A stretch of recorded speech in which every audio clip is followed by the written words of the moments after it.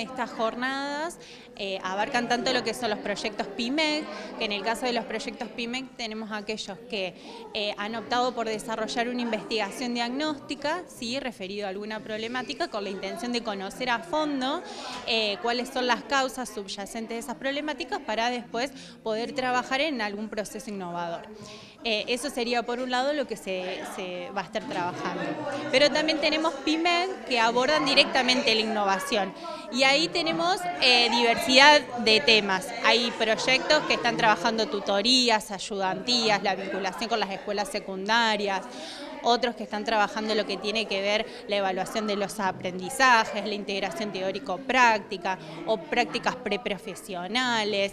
Bueno, hay diversidad de temas en lo que son eh, las propuestas PYME eh, que refieren a intervenciones innovadoras.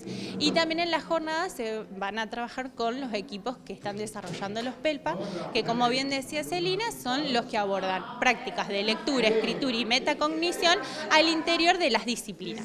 Entonces eso es un poco lo, lo que va a consistir en esta jornada.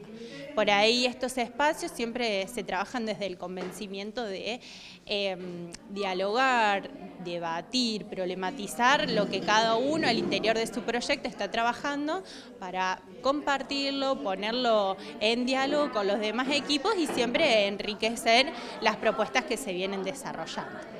Si bien eh, se realizan estas semanas las jornadas de intercambio, ya vienen trabajando los equipos, se hacen otro tipo de encuentros. Sí, los equipos vienen trabajando del año 2023, del año pasado, ya han realizado un primer informe de avance que consiste en, bueno, un poco dar cuenta de las actividades que se vienen realizando en función a los objetivos que tenía el proyecto.